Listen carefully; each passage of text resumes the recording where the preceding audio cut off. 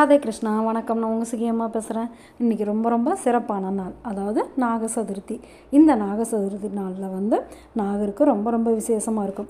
நாம் இப்போ என்ன பண்ண போகிறோம் அப்படின்னாக்கா இந்தியாவில் இருக்கிற நாகர்கோவிலே இன்றைக்கி சுற்றி பார்க்க போக போகிறோம் எல்லோரும் ரெடியாக இருங்க.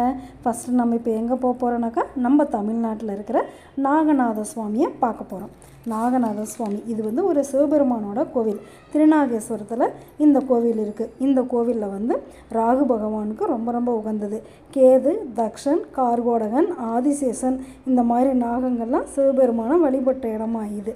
இதுக்கு அப்புறமேட்டு நம்ம தமிழ்நாட்டில் இன்னொரு கோவில் பார்க்க போகிறோம் நாகர்கோவிலில் இருக்கிற நாகராஜா கோவிலை பார்க்க போகிறோம் இந்த கோவிலில் வந்து ஐந்து தலை நாகமாக இங்கே வந்து காட்சி கொடுக்குறாரு. இந்த கோவில் வந்து கிருஷ்ணருக்கும் நாகராஜாவும் ரொம்ப ரொம்ப முக்கியமான தெய்வமாக இருக்காங்க.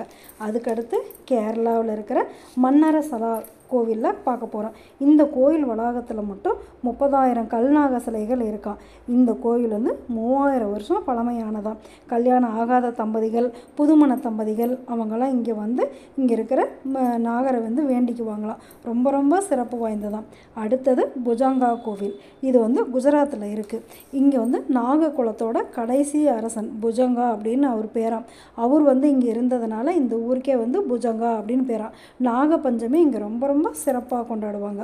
அடுத்தது குக்கே சுப்பிரமணியம் கோவில். இங்கே வந்து மு முருகப்பெருமானுக்கு ரொம்ப ரொம்ப விசேஷம். வாசுகி அப்புறம் சே சேஷாதிரி கடவுள் நாக கடவுள் ரெண்டு பேருமே சுப்பிரமணியரை தஞ்சம் அடைஞ்சு தான் இந்த கோவில் நம்பப்படுது. இந்த கோவிலுக்கு போயிட்டு வந்தால் சர்பதோஷம் நீங்கும் அப்படின்னு சொல்கிறாங்க அடுத்தது சேஷநாக கோவில்.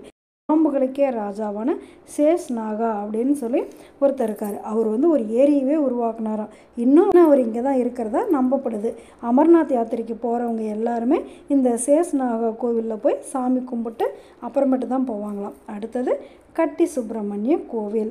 இந்த கோவில் வந்து சுப்பிரமணியர் அதாவது முருகருக்கும் நரசிம்ம பெருமாளுக்காகவும் கட்டப்பட்ட கோவிலாம்.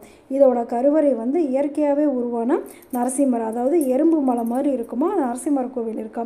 ஒரே சிலையிலேயே வந்து ஒரு பக்கம் நரசிம்மரும் இன்னொரு பக்கம் சுப்பிரமணியரும் இருக்கிற மாதிரி இருக்குமோ? அதாவது நரசிம்மர் மேற்கு நோக்கியும் சுப்பிரமணியர் கிழக்கு நோக்கியும் இருக்காங்க. இது வந்து அகஸ்தியர் முனிவர் இங்கே வந்து தவம் இருந்ததுனால இந்த கோவிலுக்கு வந்து அகசன அள்ளி அப்படின்னும் பேரம். ரொம்ப ரொம்ப விசேஷமானதான் இந்த கோவில். இன்னுமே இந்த கோவிலை சுற்றி ஒரு தங்க பாம்பு இருக்குது அப்படின்னு சொல்லி எல்லாருமே நம்புகிறாங்க சதுர்த்தியை முன்னிட்டு இன்றைக்கி வந்து நாகர்கோவில் எல்லாம் தரிசிச்சிருக்கோம். எல்லா நாகரையும் வேண்டிக்கோங்க. எப்போவும் எல்லாருக்கும் நல்லதே நடக்கணும்னு. Okay? Okay. Bye. Radhe Krishna.